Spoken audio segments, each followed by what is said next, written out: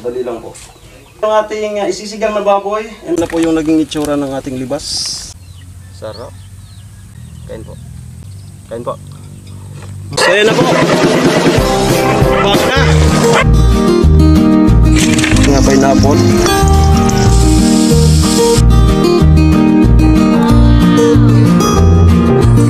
Tada!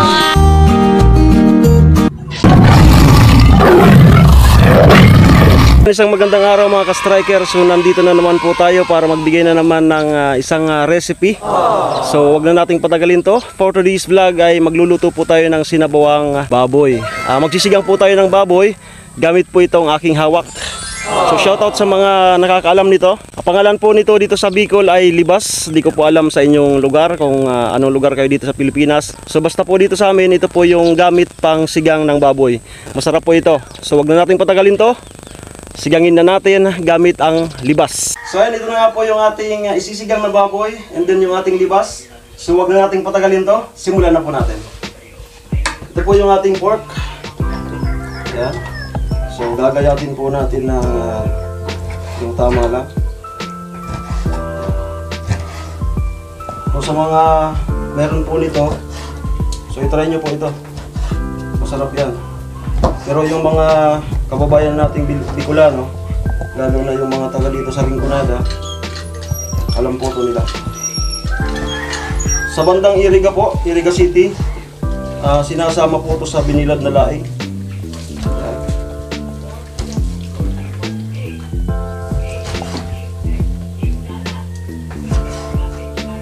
So, lang po.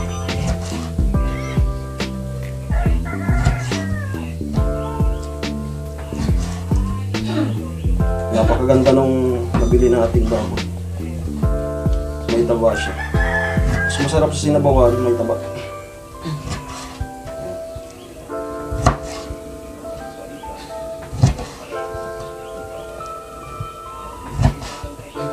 No. Ano yan ito na po yung ating baboy. Then ito po yung ating mga sangkap. Meron po tayong ah, saging, meron po tayong pichay, meron po tayong talong, okra, sariwang sitaw, siling maliit, and then mayroon po tayong gabi. Ayan. Lahat po na yan, na gulay na yan, hindi po natin yan binili. Lahat po yan sa ating bakuran. Sariling tanim po yan. So dito po tayo ngayon sa gatong dahil ah, nagtitipid tayo ng gas. Meron na po yung asin, sibuyas, pakuloyin lang po natin. Ayan ngayon po ilalagay na po natin yung ating pork. Ayan, malapit na pong kumulo yung ating sabaw. Lagay na po natin yung pork. Then sabay na rin po natin yung ating gabi para lumambot na. Pan. So ayan po, ah, tapos na po nating malagay yung karne doon sa ating ah, nakasaing na kaldero. Ganito lang po yung pag i-prepare ng libas. So ginagano lang po yung dahon. Madali lang po. Make sure po na much better kung talbos po yung inyong ah, gagawin. Ayan. Ganun lang po.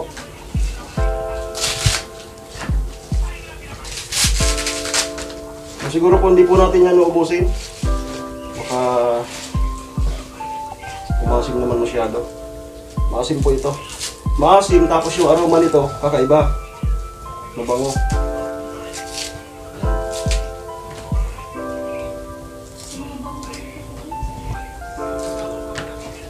Shoutout nga pala kay Brian Rosana. Noy, kumusta?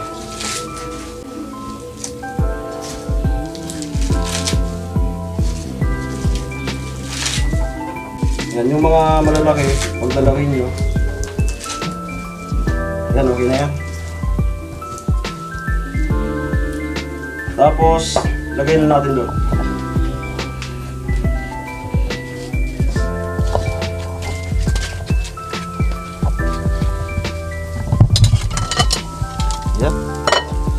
Po, kumukulo na po.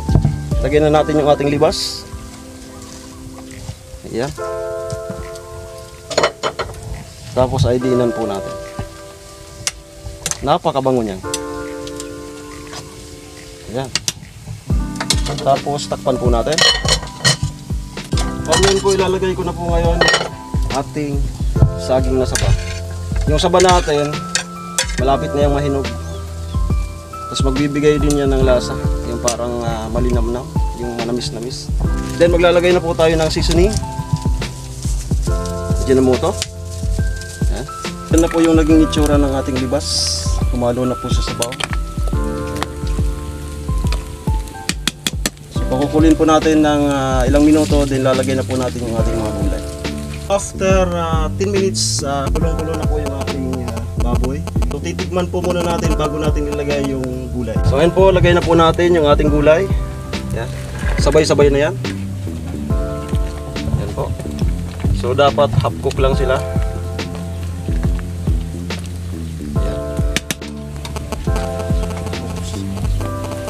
So ngayon po, last po nating lalagay yung ating pichay. Ayan. Sariwang sariwa po yan. Diinan. Ayan. Tapos takpan. Then pakuluin ng mga siguro mga kalahating minuto tapos ahunin na. Okay na, luto na po yung ating linibasang baboy.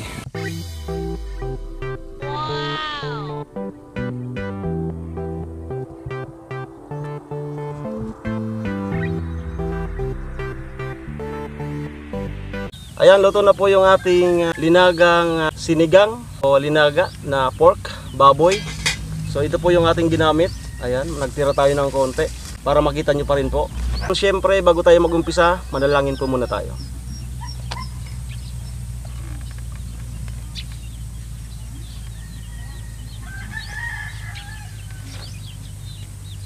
Amen. Kain po. Ayan, simulan na po natin. Kain po. Sabaw. Sarap. Matagal-tagal na rin tayong kain po. Hindi nakapagluto ng katulad nito. Kasi po yung libas sa isang taon mga siguro mga dalawang beses lang yan mag ano, magtalbos. Kain po. Mm. Sarap.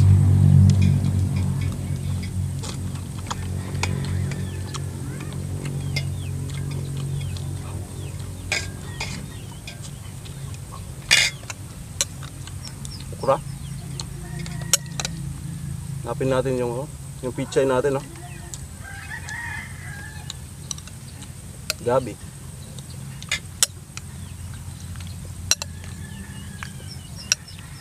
Saging. Kain po. Mm.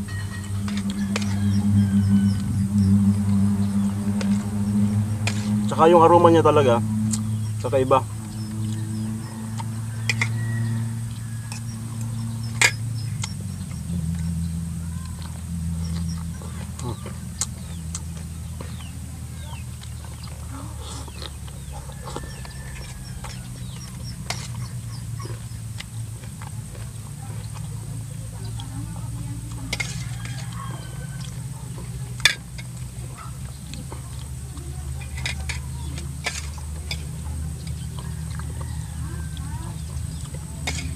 kakaiba. Nanginit. Mm.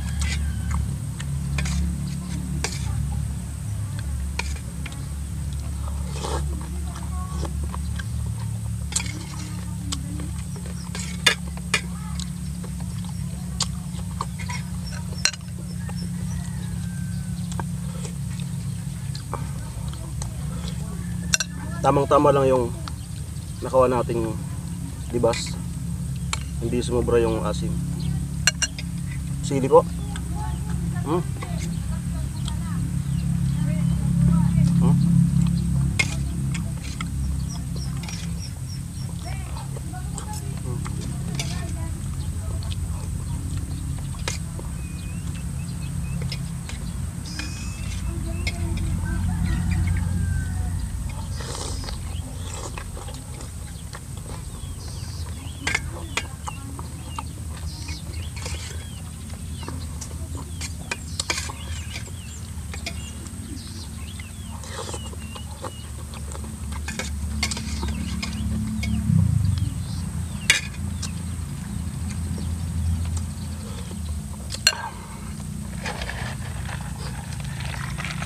Tapos malamig na tubig. Ayan, may yelo.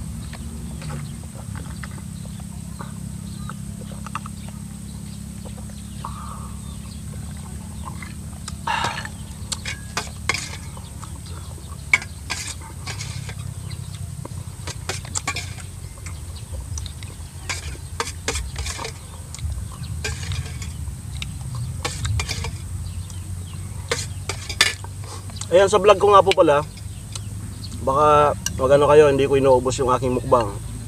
So ang pinopoint ko po dito, yung proseso ng pagluluto, tapos yung kain, kumbaga dagdag ano na lang yun. Mm. Ang gusto ko matuto po kayo sa mga linuluto ko. Kumbaga, dinidemo ko lang po.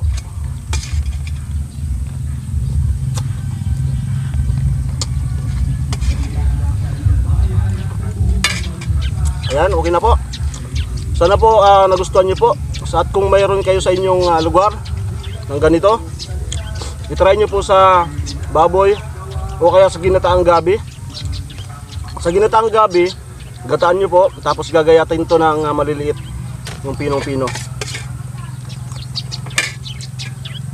Ayun, maraming maraming salamat po sa inyong panonood. Sana po yung nakapag-subscribe na kayo sa aking YouTube channel. And then huwag niyo pong kalimutan mag-click ng aking notification bell para po updated kayo sa aking mga bagong videos. Ingat po kayo. It's me again, Alamid Striker. Maraming maraming salamat. Ingat po kayo. Then God bless.